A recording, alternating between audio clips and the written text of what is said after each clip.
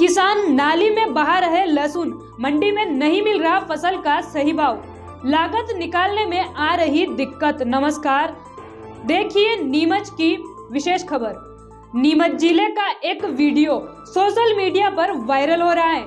किसान लहसुन से भरी बोरियों को बहते नाले में बहा रहा है। दरअसल, नीमच मंदसौर ज़िले में बड़े पैमाने पर लहसुन की खेती की जाती है, लेकिन किसानों को मंडी में लहसुन के अच्छे दाम नहीं मिल रहे हैं। किसानों की फ़सल की लागत भी नहीं मिल पाती है। नीमच ज़िले के गाँव चौकान खेड़ा का वीडियो सोशल मीडिया पर वायरल हो रहा है। किसान दिनेश अहिर ने लगभग एक बीघे से उत्पादन की हुई 40 बोरी लहसुन को पानी में बहाता दिखाई दे रहा है।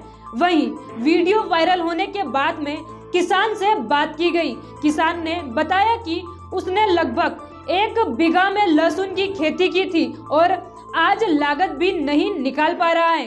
किसान को मंडी में ले जाकर लहसुन बेचने के लिए भाड़ा भी महँगा पड़ रहा है। ऐसे में नुकसान से परेशान होकर किसान ने गुस्से में अपनी सारी लहसुन को पानी में बहा दिया। एक और, जहाँ सरकार किसानों की आय दोगुना करने की बात कर रही है। दूसरी ओर, धरातल पर किसान अभी भी परेशान है। किसानों को लागत मूल्य भी फ़सल का नहीं मिल रहा है। नीमच मंडी में लहसुन के भाव छह सौ पिछहत्तर रुपए से आठ हज़ार पाँच सौ रुपए क्विंटल तक अच्छी क्वालिटी की लहसुन खरीदी जा रही है। चार हज़ार से पाँच हज़ार व सत्ताईस सौ से पंद्रह सौ रुपए मीडियम बेस्ट माल की लहसुन खरीदी जा रही है। किसान संबंधित खबरों के लिए देखते रहिए हमारे साथ एम पी सेवन न्यूज़